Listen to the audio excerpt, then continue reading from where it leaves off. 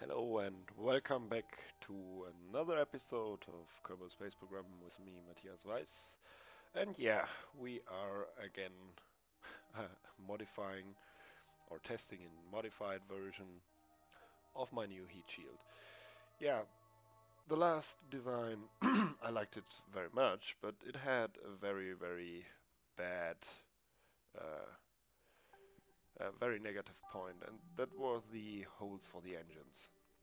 So we thought a little bit, and I searched a little bit in the internet if uh, there were any sliding parts or something like that, where with which I could uh, cover the engine holes, but I didn't find anything suitable. So what did I do?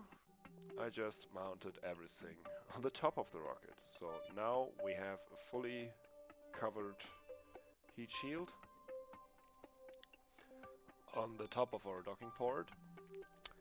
And yeah, in this design you also can see my, uh, well let's go a little bit faster here until we hit the atmosphere. You can also see small rover attached uh, on the bottom of our part, our rocket. And of course another docking port which will be used to connect this ship to the main ship. Will be jettisoned, but you will see that later. So, let's make another test in the atmosphere. So, uh, with this design, we have to uh, point prograde, of course.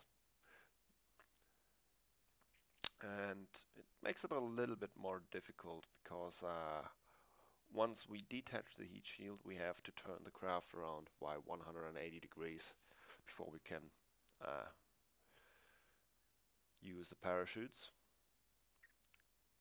Okay, diving through the atmosphere here. So now everything looks fine. So let's let's just wait for the first flames. which should start about now. Oh yeah. There it comes.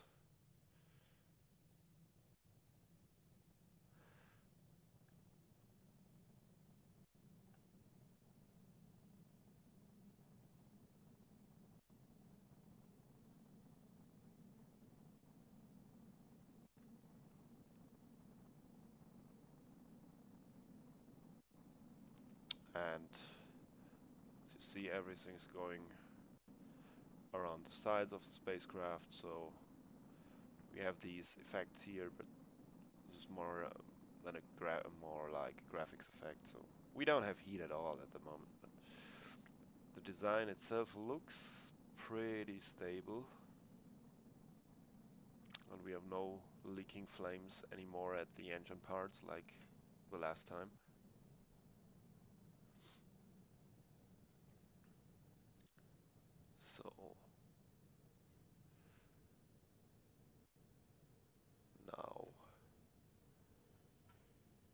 flames are out almost.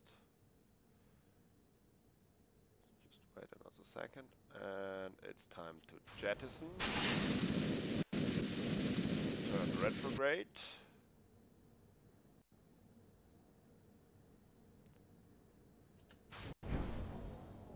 And yeah, there goes the docking port on the downside, which we also don't need anymore. Turn off RCS. And yeah, I thought this this turn would be more suicidal, but it actually worked pretty pretty fine. So all in all, I think this design is a major improvement and of course makes it more realistic, can say that. Still speaking about Kerbal Space Program. So of course we have another docking port on the front, so when we go back into orbit, or if you, when we would go back into orbit on another planet, then we would just... Uh, ooh, what was that? What was that noise? Hmm. I don't know. Uh, we would of course dock to our main craft with this docking port.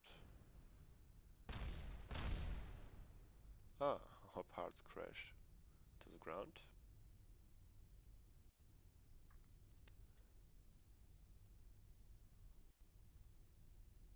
And of course this is just a standard landing.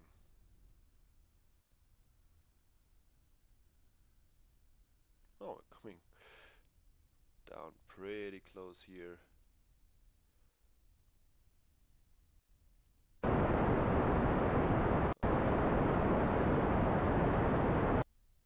Yeah, I would say that is pretty close to the launch pad. Wow, I love MechJeb.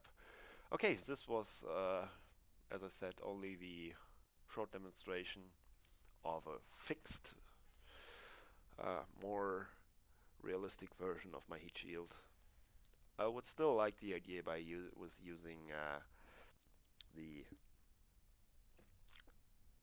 sliding parts uh, for our uh, heat shield to cover the holes and I would still like that idea but it's okay that it's not working at the moment. Of course we have our little rover which we can detach and yeah I will not drive around because it's just a standard rover. But it survived the fall even on this planet without any uh, without any injuries or without any parts breaking off better said. And yeah see you can drive it outside.